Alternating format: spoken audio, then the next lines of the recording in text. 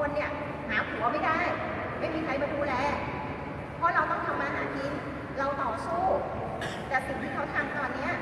เขาทำเขาโกงชาติ เขาโกงประเทศ แต่เขากลับมาข่มขู่เราว่าเราทำอะไรเขาไม่ได้ วันนี้ดิฉัน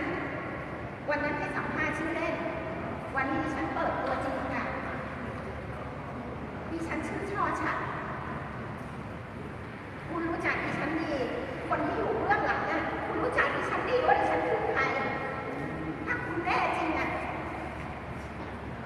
ดิฉันในฐานะประชาชนคนไทยคนหนึ่งอะพวกคุณโกงประเทศชาติ